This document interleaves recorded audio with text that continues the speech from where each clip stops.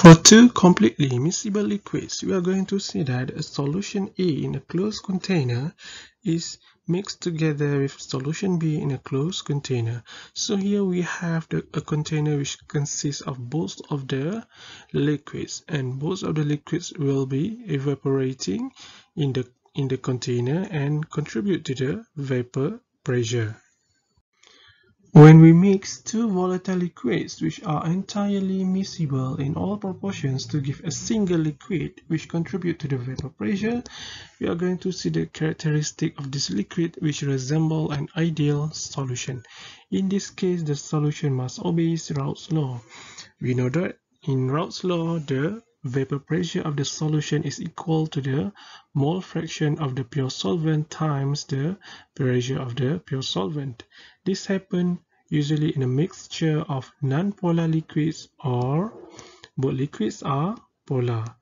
An example here we have the mixture of toluene and benzene, ethanol and methanol, chlorobenzene and bromobenzene, hexane and heptane.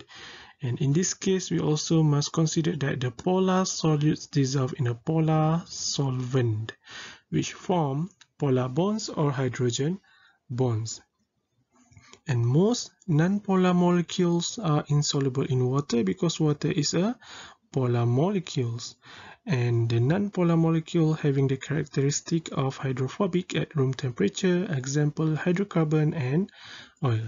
In this case also we must consider the intermolecular attractions between molecules which are the same as in a pure liquid, meaning that the intermolecular attraction in a solution A is equal to the intermolecular attraction between molecules, molecules A and B. An example here when we have a mixture of two volatile liquids which consists of benzene and toluene. In this case, we must recall that with only two components, we have the mole fraction of benzene plus mole fraction of toluene equal to 1. Let's take a look at benzene first. When we have the mole fraction of benzene equal to 1, so the vapor pressure exerted by benzene is equal to 384 torr. When the mole fraction of benzene equal to 0, so the vapor pressure also uh, equal to 0. For toluene, the mole fraction is equal to 1, so the vapor pressure exerted by toluene is equal to 133 torr. And when the mole fraction equal to 0, the vapor pressure is also equal to 0. In this case, we can see that the intermolecular forces in benzene molecule is lower compared to tol uh, toluene. Toluene having higher boiling point because um, it needs uh, more heat to break the bond between the, mo the molecules because the vapor pressure is lower as compared to benzene and benzene is more volatile than toluene. By employing Dalton's law to calculate the total pressure of solution which consists of benzene and toluene, so here we have the formula of total pressure equal to pressure of benzene plus pressure of toluene. So how to calculate the pressure of benzene? We have here the mole fraction of benzene times the partial pressure of benzene. The same goes for toluene.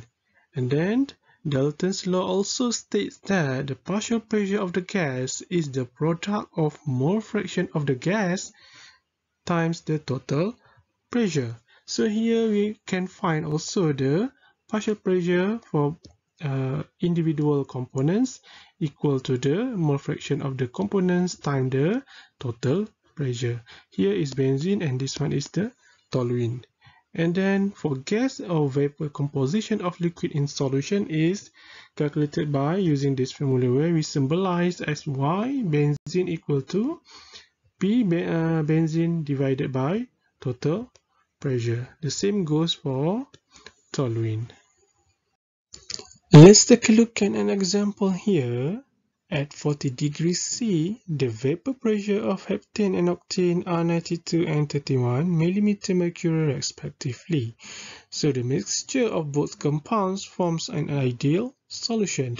A mixture of heptane and octane containing 35% heptane is placed in a closed container. So the question is, which component is more volatile? Secondly, calculate the total pressure of the vapor formed above the solution. And thirdly, calculate the vapor composition of octane in equilibrium with the solution. For question A, we know that heptane are more volatile because vapor pressure of heptane is higher as compared to octane. For B, in order for us to calculate the total pressure of the vapor form, we have to know the mole fraction of heptane. From the information given in here in the question, we know that 35% is the mole fraction of heptane, which is equal to 0.35. So to calculate the mole fraction of octane, xb equal to 1 minus 0.35 equal to 0.65. Since we already have the values, so we can substitute this value inside the formula to calculate the total pressure of the vapor form above the solution. So here we can get the total pressure is 52.35 millimeter mercury.